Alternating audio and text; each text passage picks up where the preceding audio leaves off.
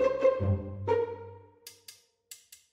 Hocam uygun budur sormuş. Bir şeye ya da bir kişiye bağımlı olmak beyinde nasıl bir etki yapıyor? Ya da beyindeki hangi etkileşimler buna neden oluyor? Yani kendimiz için çalışmak, hayatımızı devam ettirmek ya da insan olmanın gereğini aşıp kendini gerçekleştirme seviyesine çıkmanın motivesini başka bir şeyde ya da başka bir kişide bulmak bir bağımlılık mıdır? Öyleyse bundan nasıl kurtuluruz? Evet bağımlılıktır. Bu bağımlılık çok vardır. Özellikle aile bireylerine, ebeveynlere, kardeşlere ya da sevgiliye ya da yakın çevredeki dominant arkadaşlara, hayatındaki en önemli kişi dediğimiz herhangi bir kişiye vesaire bu tip bağımlılıklar çok fazla görülen. Yani beyindeki devresini kısaca anlatayım ama bu beyindeki devreyi bilmek pek işine yaramayacak. Ön beyinle orta beyin arasında yani karar verme sistemiyle mantıklı düşünme merkezi arasında bir kalıcı köprü oluşur o kişiye dair. Bu obsesif kompulsif bozukluk dediğimiz hani elleri yıkamak zorunda hissetme falan gibi takıntı hastalıkları var ya onlarda da olan bir şeye benzer. Aşk da oluşur mesela yine. Aşık olan insanların sürekli birbirini düşünmek zorunda kalması o obsesif kompulsif benzeri devrenin bir sonucu. Bu tarz bir beyin devresinin sonuçta çıktısı şu. Herhangi bir şey yapacağınız zaman o kişi ne der? Bir de ona sorsam, onu memnun etmek için yapayım. İşte bunu yaparsam o nasıl etkilenir? İşte o şöyle yapıyor, eyvah benim hayatım kaydı falan filan gibi devamlı o kişi bazında düşünme. Onu bir şeylerin yerine koyma. Gerçekçi ve rasyonel olmayan bir etiketler dizisi yapıştırma birine ve onun peşinden gitme. Şimdi bu hayatta çok ciddi bir problem. Yani birçok insan mesela ustalık için yanında bulundukları insanlara karşı böyle bir şey hissedebiliyorlar. Onu çok fazla bir yere koyabiliyorlar. İşte anne babalarını yahut çevrelerindeki böyle mentor, yol gösterici gibi insanları her alanda bir şekilde gözetmek gibi bir bağımlılık geliştirebiliyorlar. Bunun tek bir çaresi var. Birey olmanın yollarını araştırmak. Yani kendi başınıza izleyebileceğiniz, kendi başınıza karar verebileceğiniz meşgaleler sahibi olmak ufak ufak. Kimsenin haberi olmadan kendi içsel dünyanızda tamamen kendinizin karar verme talimini yapabileceğiniz. Şöyle mi yapsam, böyle mi yapsam? Bunu kimseye sormama gerek yok. O zaman şöyle yapayım, bakayım sonuçları ne olacak gibi gidebileceğiniz hobiler, aktiviteler, şunlar bunlar gibi basit şeyler de olabilir. Ya da yaşamınızın içerisinde işte kariyerinizi belirecek ana bir yol da olabilir. Kimseye danışmayacağınız, sadece kendinize danışacağınız bir yer olması lazım. Galiba kim söylemiş hatırlamıyorum. Yok yanlış referans vermiyorum ama bilgi olan kendisine sorar, deli olan başkalarına diye bir laf vardır. Böyle söyleyince biraz kaba geliyor. Tabii ki öğrenirken birilerine danışacaksın ama büyük soruları kendine sorup cevap alabilir hale gelebilmenin bilgi olmanın en önemli yolu olduğunu söyleyen bir söz. Dolayısıyla bağımlılık yani insan bağımlılığı bilgeleşmenin, kendi olmanın vesairelerindeki ciddi bir engeldir. Tabii bu demek değil ki hayatınızdan herkese atın kafanıza göre bodoslama takılın. Diğer insanların varlığı olmadan, onlar bizi sevmeden, görmeden,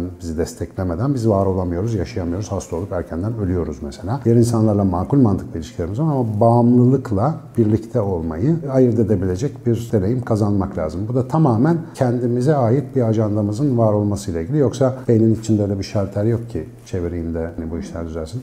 İyi ki de yok. Yoksa herkes birbirini şalterini çeviriyor.